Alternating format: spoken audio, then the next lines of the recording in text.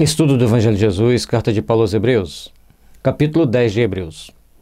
Porque tendo a lei a sombra dos bens futuros, e não uma imagem exata das coisas, nunca, pelos mesmos sacrifícios que continuamente se oferecem cada ano, pode aperfeiçoar os que a ele se, chegam. Aqui, Paulo está mostrando que todo ano tinha que reforçar os sacrifícios. Mas isso será apenas uma sombra para o futuro. Ele mostra a cada passo para os hebreus que eles deveriam abandonar suas crenças, a forma com que acreditavam, a forma com que levavam oferendas ao altar, para passarem a viver o Evangelho. Não era fazendo oferendas, não era se sacrificando aos deuses que eles iriam conseguir a sua redenção. De outra maneira, teriam deixado de se oferecer, porque purificados uma vez, os ministrantes nunca mais teriam consciência de pecado. Assim, se nós já fizemos um trabalho de purificação, não precisamos mais ter na nossa consciência a carga dos pecados, já purificamos-nos. Para que levar sacrifício ao templo? O maior sacrifício que temos que fazer é uma vida dedicada ao Cristo. Nesses sacrifícios, porém, cada ano se faz comemorações dos pecados, porque é impossível que o sangue dos touros e dos bodes tire pecados. Se eles não tiram pecado, todo ano tem que fazer aquele ritual para aliviar a consciência, mas numa expressão natural, maquinal, não a vivenciar a realidade essencial do ser humano, vivenciar a realidade transcendente da alma. Pelo que, entrando no mundo, diz: Sacrifício e oferta não quiseste, mas corpo me preparaste. Holocaustos e oblações pelo pecado não te agradaram. Paulo está mostrando para a gente que todo o sacrifício que fosse preparado, ali mostrando corpos para os deuses, isso não estava sendo agradável, não estava sendo importante. O holocausto é sacrifício e expiação, e oblações são oferendas que se dá ao, a Deus, aquilo que se oferece a Deus. Portanto, se eles estavam oferecendo aquelas oblações, aquelas ofertas a Deus e não tirava os pecados, todo ano tinha que reformar, porque eles não estavam vivenciando o ensinamento tal qual deveria, e o ensinamento não estava esclarecendo as suas mentes tal qual deveria. Então, ele vai mostrando para aquelas pessoas, de uma forma muito racional, de uma forma muito bem colocada, de que eles teriam que, a partir daquele momento, começar a aprender a sentir e vivenciar o Evangelho em seus corações para que não tivessem que todo ano renovar o sacrifício de pedir perdão. Então disse: Eis aqui venho. No princípio do livro está escrito de mim, para fazer, ó Deus, a tua vontade. Então, no princípio do livro estava escrito a respeito do Senhor: Eis aqui venho para fazer, ó Deus, a tua vontade. Se você vai ao templo para fazer a vontade de Deus naquele momento, e durante o resto do ano você não segue os exemplos deixado pelo Cristo, não segue os exemplos que Deus quer que você siga, se você não pratica o Evangelho em sua essência, que, que sentido tem você ir naquele momento? Qual o significado de você estar lá no templo naquele momento fazendo o seu sacrifício? O maior sacrifício que nós devemos fazer são das nossas ações, que são contrárias ao Evangelho, educando-nos para não repeti-las. Como acima diz, sacrifício e oferta e holocaustos e oblações pelo pecado, não quisestes nem te agradaram, os quais se oferecem segundo a lei e não segundo a consciência, segundo os ditames do bem que carregamos em nosso, nosso coração. Por isso, ao cumprir a lei, fazer o sacrifício, tomar essa ou aquela ação, eles estavam deixando de fazer, deixando de cumprir o que era necessário que era transformação íntima. Portanto, fazer sacrifícios, fazer um, esse holocausto, que é um sacrifício de expiação, fazer oferendas a Deus, levar as suas ofertas, nada disso estava funcionando. Portanto, todo ano tinha que ir lá oferecer, novamente, segundo a lei, o pedido de perdão. Então disse: Eis aqui venho para fazer, a Deus, a tua vontade tira o primeiro para estabelecer o segundo. A partir do momento que Jesus vem, conforme está na lei, que o primeiro deveria ser retirado para estabelecer o segundo, e o segundo é quem? É Cristo, que vem trazer para nós os sentimentos de amor, colocar em nossos corações o sentimento de amor. Na qual vontade temos sido santificados pela oblação do corpo de Jesus Cristo, feita uma vez. Então, à medida que Jesus tem seu corpo sacrificado na, na cruz, tem que ele passa por todas aquelas tribulações, por todo aquele sofrimento naquele momento, agora então ele vai caminhar para uma nova etapa.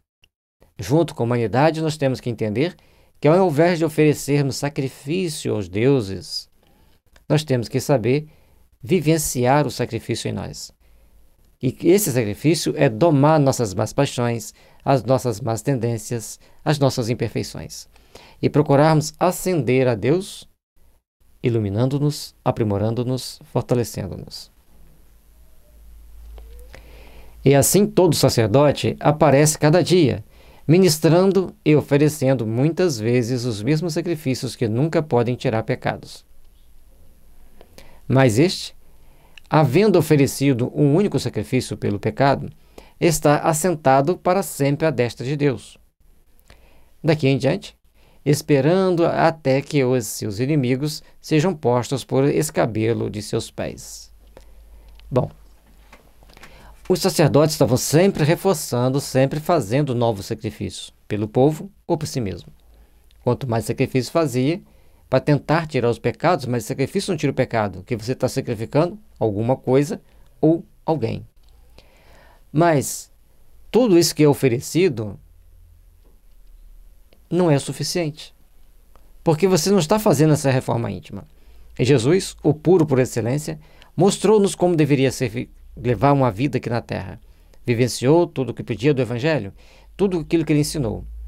E tudo isso lhe deu oportunidade de ascender aos céus, sendo visto por todos aqueles que ali estavam, vendo a sua ascensão.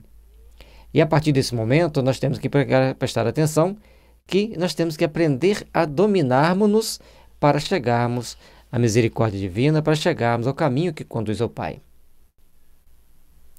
E nesse momento, então, ele está nos esperando em um estágio superior, mas para isso nós temos que colocar os inimigos a escabelo de nossos pés, ou dos pés do Cristo. Escabelo é um banco, que normalmente era um banco que, tipo uma arcazinha, um baú que a gente fala hoje, onde as pessoas sentavam. E escabelo era um banquinho menor onde se colocava o pé. Então, os, os inimigos do Cristo, eles estarão tão inferiorizados a partir de um determinado momento que eles estarão abaixo dos pés. Por mais que a humanidade queira transgredir as leis divinas, o Cristo tem mecanismos que vai nos ajustando para tomarmos ações e caminhos que sejam mais edificantes, que sejam realmente melhores, para nos colocar no ponto que devemos seguir, na, no patamar de entendimento e cooperação que devemos seguir para o Pai, rumo ao Pai. Porque com uma só oblação aperfeiçoou para sempre os que são santificados. E qual foi a oblação? Qual foi a oferta, o sacrifício? Ele próprio. Deixou passar por todas aquelas situações em silêncio, sem um gemido sequer. E as suas últimas palavras foram: Pai, perdoa-os, eles não sabem o que fazem. Por isso, a partir do momento que nós acreditamos em Cristo, a partir do momento que nós começamos a procurar seguir o Cristo, nós estamos nos aperfeiçoando e caminhando para este encontro memorável da nossa paz íntima, buscando a paz do Senhor. E também o Espírito Santo nula testifica, porque, depois de haver dito, este é o concerto que farei com eles depois daqueles dias, diz o Senhor. E aqui já vem a palavra do Senhor, trazido pelos antigos profetas sobre Jesus, onde nos mostra que devemos reconhecê-lo, amá-lo e segui-lo. Porém, minhas leis em seu coração, e as escrevereis em seus ensinamentos. E acrescenta: Portanto, Jesus vem com as leis divinas no coração, agindo com amor, com sabedoria, com compaixão, com solidariedade. E o entendimento, porque ele entendia o que falava e vivenciava o que falava e explicava, ampliava o entendimento das pessoas sobre o Evangelho. E jamais me lembrarei de teus pecados e de suas iniquidades. Ora, onde há remissão destes, não há mais oblação pelo pecado. Se Jesus não diz que não lembrará mais das nossas iniquidades, que seja das atitudes contrárias àquilo que deveríamos agir, de tudo aquilo que nós procuramos agir contrário à religião, ele vai esquecer. Porque o que importa para o Cristo é que a partir do momento que nós nos convertemos a Ele, que colocamos o Evangelho em nosso coração, nós vamos caminhando no sentido ascendente, procurando fazer sempre o bem, deixando de lado os nossos pontos falhos, nossas, nossos erros, nossas malícias, maldades, enfim, as nossas imperfeições. Ora, onde há remissão desses, não há mais oblação pelo pecado. Então não temos que oferecer nenhuma dívida, nenhuma oferenda, não fazermos nenhum tipo de sacrifício, porque nós já nos redimimos à medida que nós vamos tomando consciência dos nossos erros e passando a agir com acerto. E à medida que vamos agindo com acerto, lembremos que Pedro nos diz: um ato de amor anula-se multidão de pecado. E, portanto, ao agirmos com amor, com respeito e compaixão uns pelos outros, nós vamos buscando a nossa ascensão espiritual, o nosso crescimento. Tendo, pois, irmãos, ousadias para entrar no santuário, pelo sangue de Jesus, pelo novo e vivo caminho que ele nos consagrou, pelo véu, isto é, pela sua carne. E tendo um grande sacerdote sobre a casa de Deus, chegamos-nos com verdadeiro coração e inteira certeza de fé, tendo o coração purificado da má consciência e o corpo lavado com água limpa. Retenhamos firmes a confissão da nossa esperança, porque fiel é o que prometeu. Jesus prometeu-nos que levaria levaria-nos ao Pai, porque ele é a porta que nos conduz ao Pai. E aqui ele vai trazendo para nós, Paulo vem trazendo que ele tem um novo caminho, e um caminho que nós devemos vivenciar no dia a dia. Porque o véu que nos prende, que nos separa do mundo espiritual, que é o véu da carne, o próprio Jesus consagrou ao nosso benefício, ao nosso interesse, para que possamos crescer, ascender para o Senhor. Portanto, como Jesus se deixa imolar, se deixa, entrega-se como um cordeiro de Deus para que o, mundo tome consciência dos seus erros, dos seus, do caminho que deve seguir. Então, a partir desse momento, a gente começa a ter um verdadeiro coração,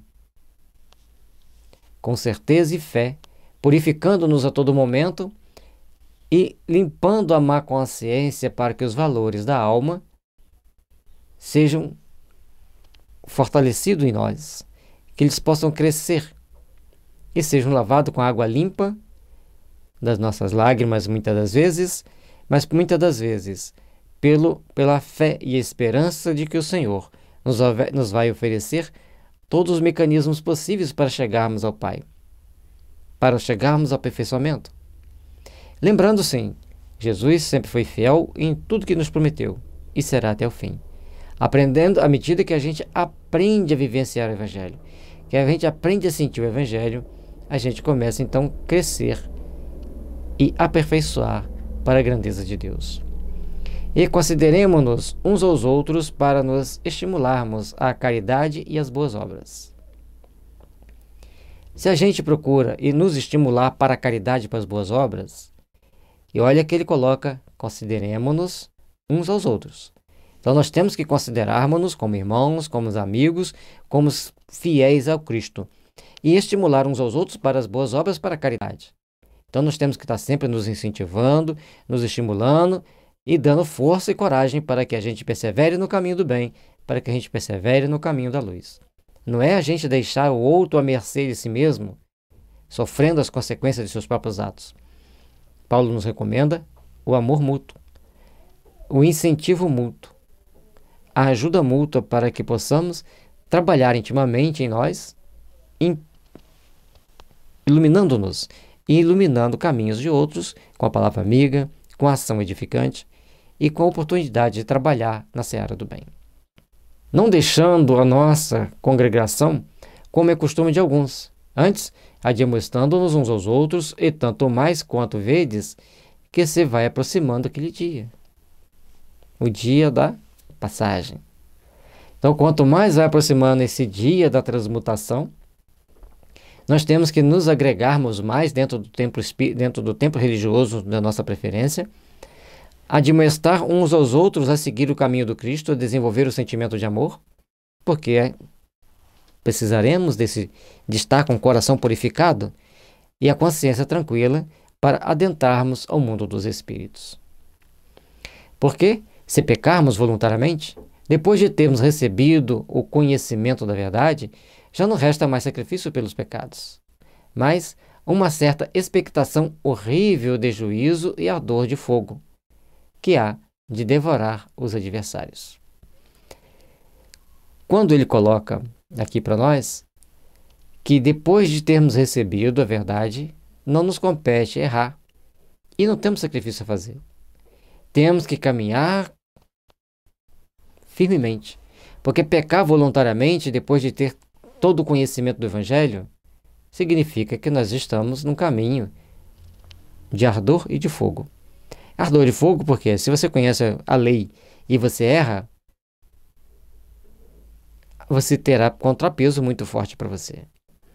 Porque quem não conhece a lei e erra, ele não sabe que errou, então ele não vai tomar conhecimento do erro. Mas quando você sabe, que você conhece a lei você comete o crime, você tem que arcar com as consequências da ardência da consciência e do fogo da consciência. Para despertar para uma nova etapa, você precisa se transmutar, se melhorar e se aperfeiçoar. Quebrantando alguém a lei de Moisés, morre sem misericórdia. Só pela palavra de, du de duas ou três testemunhas. Então, esse quebrantando é sem força, fraco, debilitado. Então, se alguém enfraquece a lei de Moisés, ele está se complicando. E principalmente se ele tiver duas ou três testemunhas para dizer que ele desrespeitou a lei de Moisés. Vejamos agora o que, que Paulo diz a respeito de Jesus. De quanto maior castigo, cuidais, vós será julgado, merecedor aquele que pisar o Filho de Deus e tiver por profano o sangue do testamento com que foi sacrificado, e fizer agravo ao Espírito da graça. Portanto, nós temos que entender aqui o seguinte: se, se você enfraquecer ou debilitar a lei de Moisés, se tiver dois ou três testemunhas, você vai ser punido. Agora, desprezar o ensinamento do Cristo, desprezar o sangue derramado, vai trazer consequências mais graves, porque é na consciência. Não é mais no físico. Não precisamos de testemunha físico, porque a nossa testemunha, a nossa consciência é que vai prestar contas a Deus. Por isso nós temos que procurar nos melhorar, nos aperfeiçoar, porque nós temos esse Espírito da graça. Deus nos oferece o caminho da redenção através do mecanismo da reparação. Não vamos entrar no céu porque nos arrependemos, até porque o céu não existe. Seremos amparados pela espiritualidade maior à medida que assumirmos humildemente os nossos erros, as nossas falhas e procurarmos crescer e aperfeiçoar nos caminhos do Senhor. Porque bem conhecemos aquele que disse: Minha é a vingança, eu darei a recompensa, diz o Senhor. E outra vez, o Senhor julgará o seu povo. A, julgança, a vingança de Jesus ou de Deus e esse julgamento que se faz constantemente do povo é através do tribunal da nossa consciência. À medida que deparamos com a nossa consciência culpada por um erro do passado, nós teremos que arcar com os fatos para repararmos o erro.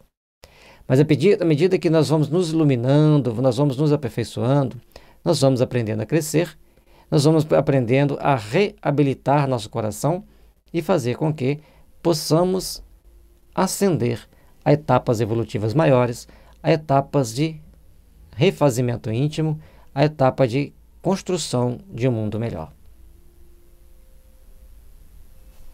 Em nosso coração. Horrenda coisa é cair nas mãos do Deus vivo. Porque quando você está cometendo erros, um dado momento você vai tomar consciência. Vai. E aí é um momento bem triste, bem complicado para aquela pessoa que cometeu o erro. Ela terá que tomar consciência e agora começar a reparar. E quando você vai começar a reparar, é hora que você vai estar na mão dos seus inimigos, reencarnar junto deles, ter uma vida próxima a eles e arcar com as consequências do mal que você fez a eles. Lembrai-vos, porém, dos dias passados, em que depois de seres iluminados suportastes grandes combates e aflições. Porque antes da gente conhecer Jesus, antes da gente conhecer o Evangelho, antes da gente entender os mecanismos da lei, a gente fica à mercê do nosso egoísmo, da nossa vaidade. E todas as aflições são insuportáveis.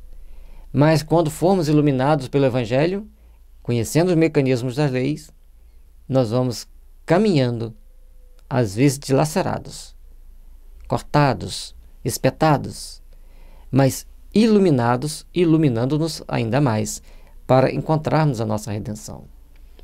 Em parte, fostes, fostes feitos espetáculo com vitupério e tribulações, e em parte fostes participantes com os que assim foram tratados. Vitupério é com afronta, insulto, e tribulação, adversidade. Então, para que a gente cresça, nós vamos ser um espetáculo do mundo em algumas situações, de espiarmos as nossas faltas. Dói. Por isso o vitupério, né, aquele afronto, aquele momento em que nós às vezes nos sentimos ofendidos, frente às adversidades. Mas se formos levar em conta que já temos um índice de iluminação melhor, um índice de iluminação mais aperfeiçoado, nós vamos então crescer e nos aprimorar para o encontro com o Senhor.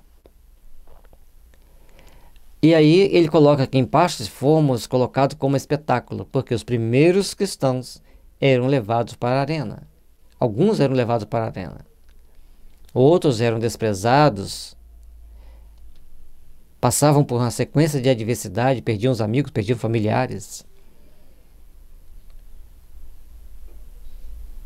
Mas somos participantes de todos que assim foram tratados, de todos que passaram por esse momento difícil. E antes de reclamarmos, demos graças a Deus, agradeçamos a Deus pelas oportunidades de repararmos nossos erros e de caminharmos para o Senhor. Lembrando que tem uma frase do Emmanuel que ele diz: Quando a justiça divina nos bate à porta e nos encontra trabalhando em prol do outro, em prol do bem, manda misericórdia que essa dívida a cobrança dessa dívida, seja adiada por tempo indeterminado.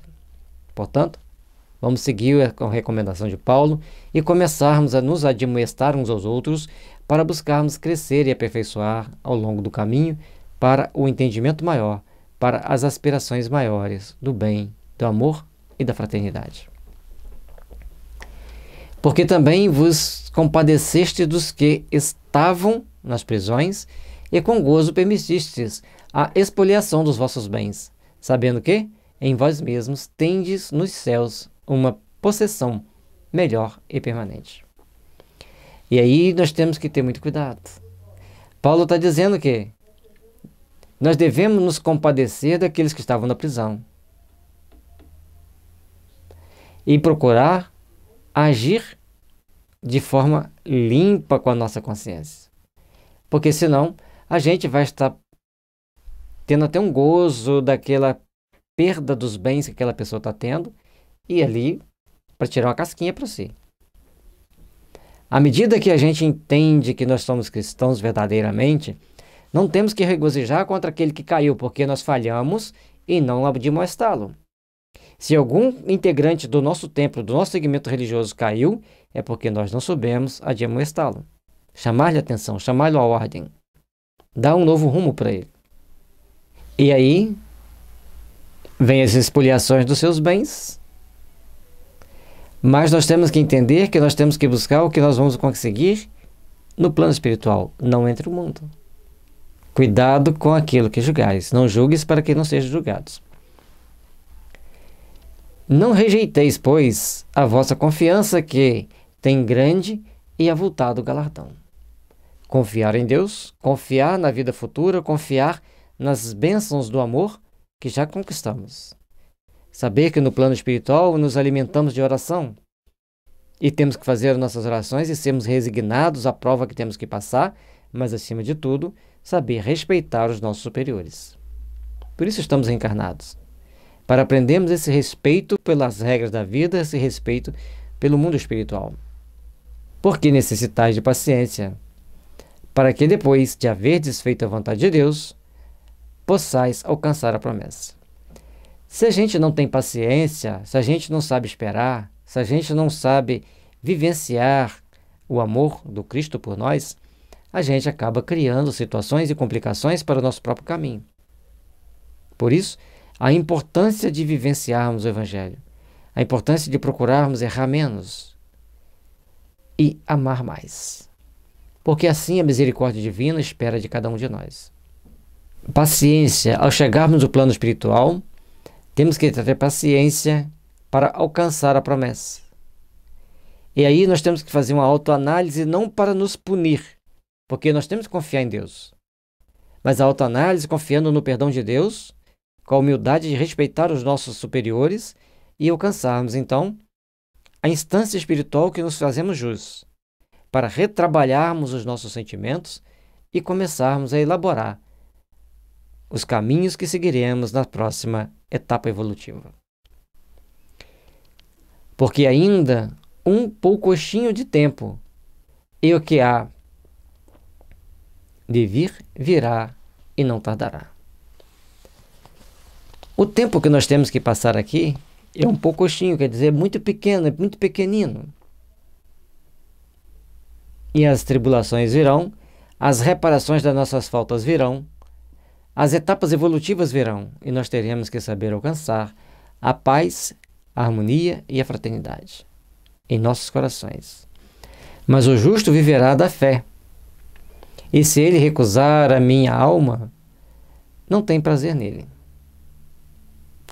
Nós, porém, não somos daqueles que se retiram para a perdição, mas daqueles que se creem para a conservação da alma. A partir do momento que nós estamos procurando entender o Evangelho, nós estamos procurando conservar a nossa alma, nos precaver de futuros percalços do caminho. Porque, sendo justo, nós viveremos sempre no plano espiritual com a consciência tranquila. Caminharemos tranquilamente preparando-nos às próximas etapas evolutivas. Por isso, todos nós temos que saber observar o Evangelho, observar os ensinamentos do Cristo, para caminharmos com segurança, com fé, com responsabilidade. Porque a partir do momento que a gente vivencia o Evangelho, que a gente procura colocar o Evangelho em nosso coração, nós estamos nos retirando da perdição para conservarmos a nossa alma. Trabalhemos, pois, pela edificação desse bem desse evangelho em nossas vidas, e assim fazermos dos melhores, fazermos daqueles que edificam o amor, a fraternidade e a paz ao longo da caminhada que nos conduzem ao Pai. Desafio após desafio, porque praticar o evangelho é um conjunto de desafios dentro do jogo da vida, ou dentro do palco das expiações, das provas e das necessidades de passarmos pelas etapas que nos conduzem ao Senhor. Por isso, temos que ter perseverança, paciência, fé e esperança, caminhando sempre com passadas firmes, conscientes de onde precisamos chegar, mas também responsáveis dos caminhos que teremos que passar e de como estaremos edificando e construindo o nosso amanhã. porque cada um de nós estaremos nos fortalecendo intimamente para resplandecer-nos perante Deus. E só vamos alcançar essa paz lá na frente, se trabalharmos bem hoje, se procurarmos desenvolver os bons sentimentos e vivenciar os ensinamentos do Cristo para a construção e edificação de uma manhã melhor. Que Jesus nos abençoe, nos ilumine e fortaleça, porque os amanhãs que nos esperam pertencem ao Senhor. E a misericórdia divina vem sempre para, para nos iluminar, abençoar e nos impulsionar para as realizações sublimes de uma manhã de paz.